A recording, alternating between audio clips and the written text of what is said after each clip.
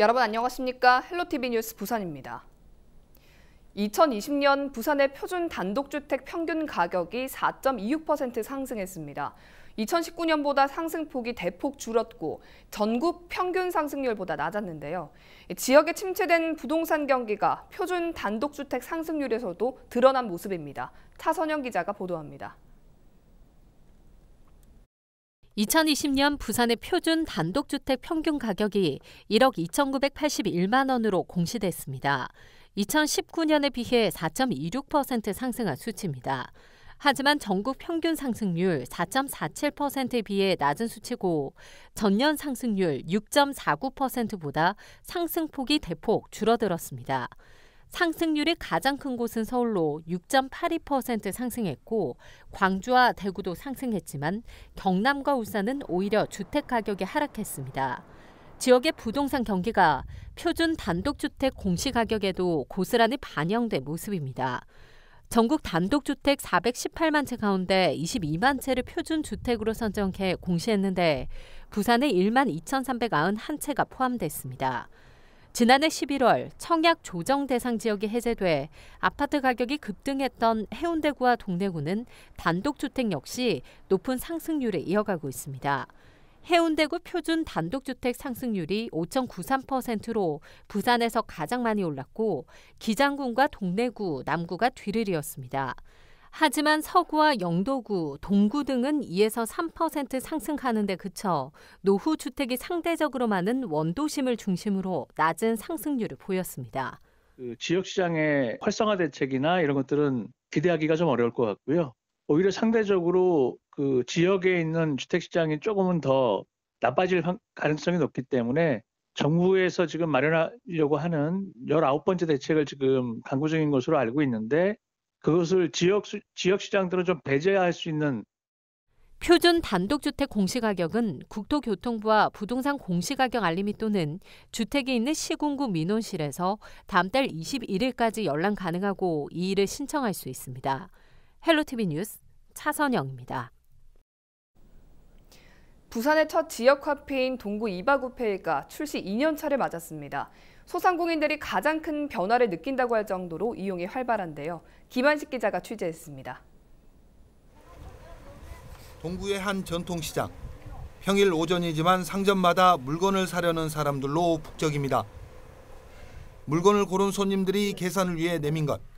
동구에서 발행한 이바구페이 전용 카드입니다. 최대 10%의 보너스도 좋지만 무엇보다 일반 카드처럼 사용하기 쉽습니다. 지역 상권도 좀 살 것 같고요. 또 본인한테도 도움이 많이 되거든요. 10% DC해 줘서 일반 카드처럼 사용하기 참 편해요. 지난해 부산 최초로 동구 지역 화폐가 발행될 때만 해도 지역 여론은 반신반의였습니다. 하지만 추가 발행까지 이어지면서 분위기는 긍정적으로 변했습니다. 이런 변화는 당장 소상공인들이 가장 먼저 느낍니다. 이바고 페이로 사실은 그 저희 가게도 많이 또 방문해 주시고 그 뭐 매출에는 한 뭐 한 3, 40% 정도 예, 도움이 되고 있습니다. 동구는 지역화폐 정착을 목표로 올해 100억 원을 발행했는데 지난해 3배가 넘는 규모입니다. 하지만 부산시가 뒤따라 지역화폐 동백전을 발행하면서 위기감이 감돌았습니다. 위기감 속에 출시 2년째를 맞은 이바구페이. 올해 1월 판매액은 5억 6천여만 원으로 작년 첫 발행된 8월 대비 26%가량을 웃돌았고 이용자도 소폭이지만 증가했습니다. 구는 이런 여세를 몰아 올해 발행 금액 소진을 넘어 추가 발행 목표까지 세웠습니다. 이를 위해 가맹점을 확대하고 설문조사 등을 통해 문제점을 개선한다는 계획입니다. 사용하시는 분, 그 다음에 소상공인 입장에서 설문조사를 실시하고 있는데 그거를 통해서 의견을 받아들여서 문제점과 개선해 나아갈 사항을 통해서 적극적인 홍보를 해나갈 생각입니다. 위기 속에 출시 2년차를 맞은 부산 최초의 지역화폐 이바구페이. 올해 어떤 성적표를 내놓을지 관심이 모아집니다. 헬로티비 뉴스 김한식입니다.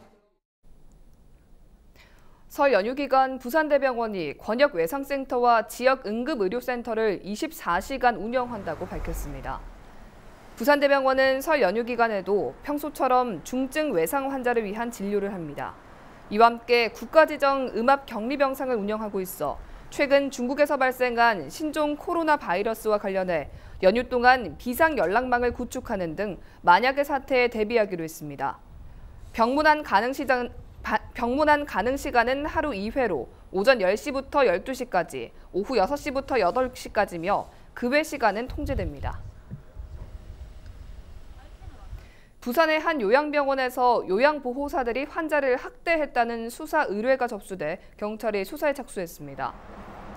강서구청은 A요양원 직원이 칸막이나 가림막을 치지 않고 환자 기저귀를 교체했고 보호자 동의 없이 테이프를 이용해 휠체어에 환자를 결박한 정황을 확인했다고 경찰에 수사 의뢰했습니다.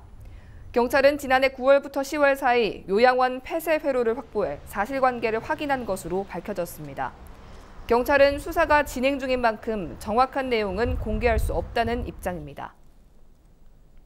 지난해 불경 지역의 해양오염 물질 유출량이 크게 줄어든 것으로 나타났습니다. 남해해양경찰청이 지난해 부산, 울산, 경남 지역의 해양 오염 사고 통계를 분석한 결과 사고 건수는 총 117건으로 전년 105건 대비 소폭 증가했습니다.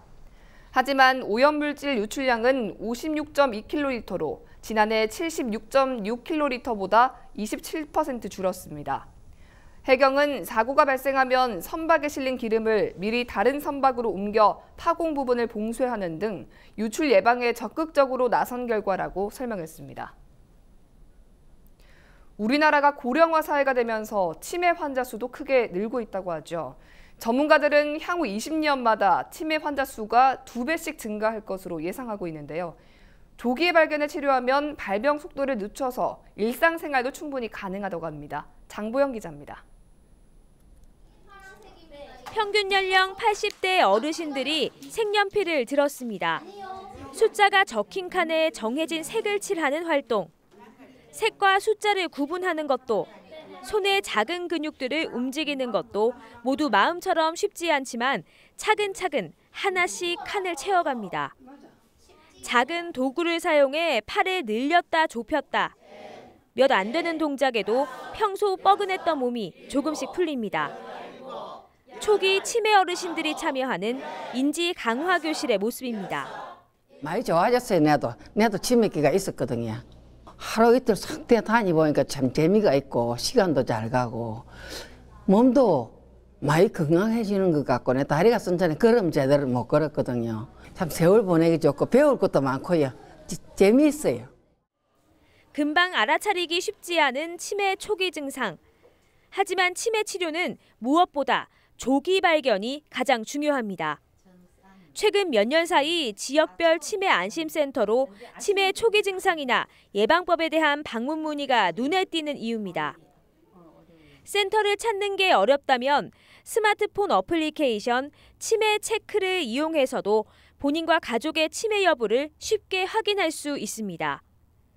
치매를 예방하기 위해서는 고혈압과 당뇨, 고지혈증, 뇌질환과 같은 위험 요인을 관리하는 것이 중요합니다. 흡연과 음주를 하지 않고 규칙적인 운동을 하면 치매에 걸릴 확률을 크게 낮출 수 있습니다. 우울증이 있으면 치매에 걸릴 위험이 높아지기 때문에 주위 사람들과 만나고 어울리는 시간을 늘리는 것도 좋습니다. 매일 단조로운 생활을 하시거나 우울감을 느끼시는 어르신들이 많기 때문에 미술, 음악, 원예, 교구 활동 같은 프로그램을 통해서 다양한 인지 자극을 받고 사람들을 만나는 계기를 가지는 것이 치매 예방에 가장 중요하다고 할 수 있습니다. 매년 치매 조기 검진을 받고 본인의 인지 상태를 체크하는 것도 중요합니다. 최근에 있었던 일을 잘 기억하지 못하거나 대화할 때 말을 주저할 경우 평소 잘하던 일이 어려워져도 치매를 의심해 봐야 합니다. 치매 진단을 받고 치료를 시작한 뒤 효과가 금방 눈에 보이지 않아 관리를 안 하고 방치하면 뇌가 망가질 가능성이 높아 꾸준한 관리가 중요합니다. 헬로티비 뉴스 장보영입니다.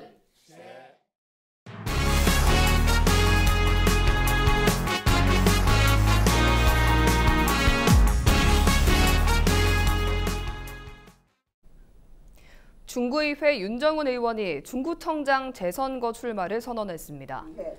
윤 의원은 23일 오전 기자회견을 열어 4차 산업혁명 시대의 변화에 발맞춰 다시 한번 도약하는 중구를 만들기 위해 젊은 리더십이 필요한 시점이라며 출마의 변을 밝혔습니다. 한편 23일 오후 4시를 기준으로 중구청장 재선거에 등록한 예비 후보자는 더불어민주당 장희력 선한 노인복지센터 대표, 자유한국당 권형란 신창요양병원장, 자유한국당 최진봉 전 중구의회 의장, 자유한국당 윤정훈 중구의원, 무소속 안풍 전 민주평화당 중영도구 지역위원장 등 모두 5명입니다. 항만소방서가 23일 영도구 지역 전통시장에서 고향집 주택용 소방시설 선물하기 캠페인을 실시했습니다. 항만 소방서 직원 및 의용 소방대원 등 100여 명은 남항시장 등 영도구 시장 세 곳을 돌며 시민들에게 소화기 및 단독 경보형 감지기의 중요성을 알렸습니다. 항만 소방서는 주택용 소방시설로 큰 화재를 막고 피해를 최소화하는 사례가 매년 늘고 있다며 주택용 소방시설 설치를 당부했습니다. 중구가 지역 내 전체 고등학교 신입생을 대상으로 교복비를 지원합니다. 올해 2월 1일을 기준으로 중구에 주민등록이 됐고 교복을 입는 고등학교 신입생이라면 1인당 최대 30만 원을 지원받을 수 있습니다. 교복 지원 대상에 해당할 경우 교복 구입 영수증과 입학 및 배정 확인 서류, 통장 사본을 지참해 다음 달 3일부터 오는 12월 16일까지 주민등록지 동주민센터로 신청하면 됩니다. 오래되고 비좁은 북구 디지털 도서관이 리모델링 되는 등 올해 북구 지역의 독서 인프라가 확충됩니다. 공공도서관과 거리가 먼 지역에는 경로당에 남는 공간을 활용한 도서관 분관이 들어섭니다. 박재한 기자입니다. 지난 2002년 개관한 북구 디지털 도서관입니다. 공간 부족으로 2009년 한 개 층을 수직 증축해 현재 모습이 됐습니다. 하지만 지역 변화를 따라가기에는 역부족입니다. 2015년 인근의 3,600여 세대, 올해 만덕 오지구 3,500여 세대가 입주하면서 도서관 이용 수요가 크게 늘어난 겁니다. 북구는 올해 50억 원을 투입해 내년 4월까지 디지털 도서관을 리모델링합니다. 지난해 3월 문체부의 공공도서관 건립 지원 사업 타당성 검사를 통과하면서 급물살을 탔습니다. 600제곱미터 공간이 수평 증축되고 백양 근린공원과 연결되는 야외 독서 공간도 만들어집니다.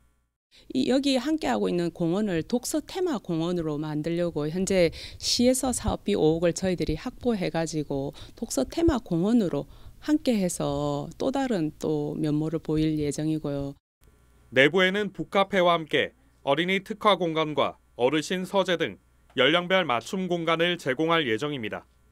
도서관 공공서비스 소외 지역에는 경로당을 리모델링한 도서관 분관이 들어섭니다.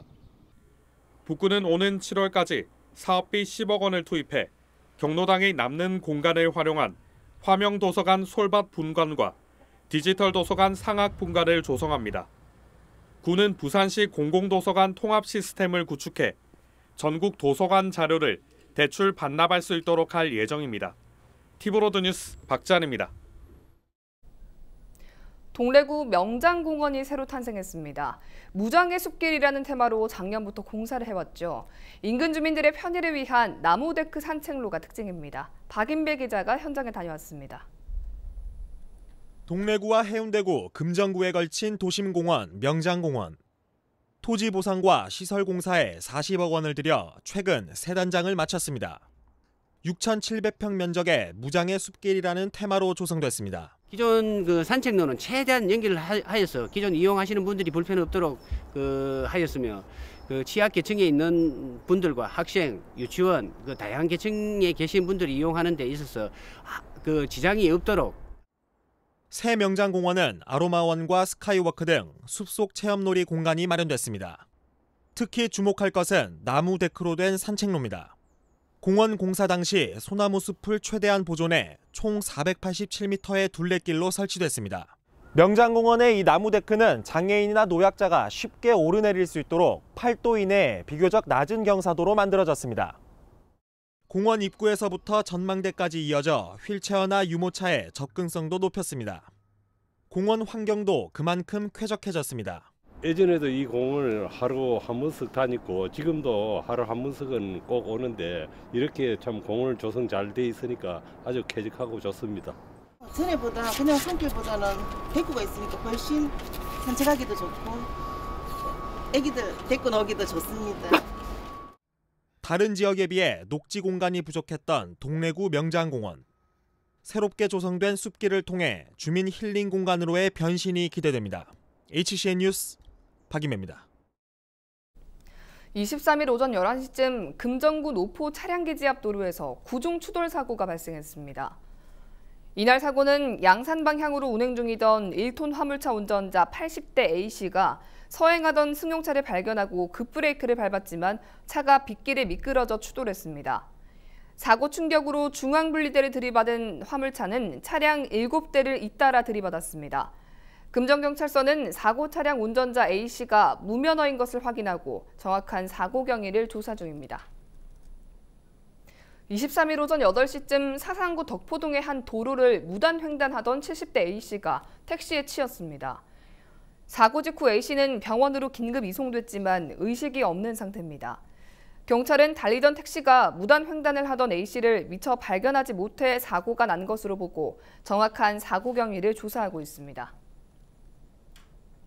부산 외국어대학교가 전국 4년제 대학 가운데 해외 취업률 1위를 차지했습니다. 부산외대는 2019년 대학 정보공시 기준으로 부산 외대 해외 취업자 수는 123명, 해외 취업률 7.1%로 6년 연속 해외 취업자 수와 취업률 전국 1위를 달성했다고 밝혔습니다. 부산 외대는 재학생들의 해외 진출을 위해 해외 학술 교류대학과 복수학위제, 해외 기업 현장 실습 파견 등 다양한 해외 취업 프로그램을 운영하고 있습니다.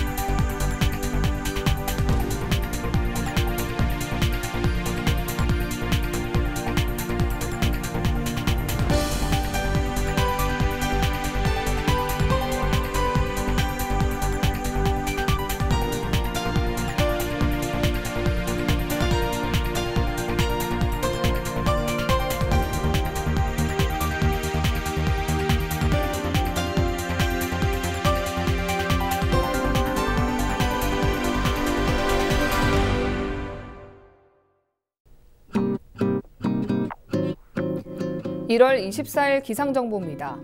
24일 금요일 부산 아침 최저 기온 7도, 낮 최고 기온 14도 보이겠고요. 막다가 오후부터 흐려지겠습니다. 전국 날씨입니다. 전국이 가끔 구름 많다가 강원 영동과 경북 북동 산지, 경북 동해안은 흐리고 아침부터 밤까지 비 또는 눈이 내리겠습니다. 바다 날씨입니다. 동해상과 남해상에서 바람이 강하게 불고 물결이 높게 일겠습니다. 항해나 조업하는 선박은 유의하시기 바랍니다. 주간 날씨입니다. 연휴 동안 맑은 날씨를 보기는 어렵겠는데요. 일요일부터 비가 내리기 시작해 다음 주 수요일까지 길게 이어질 것으로 전망됩니다. 귀성길 교통안전에 각별히 유의하시기 바랍니다.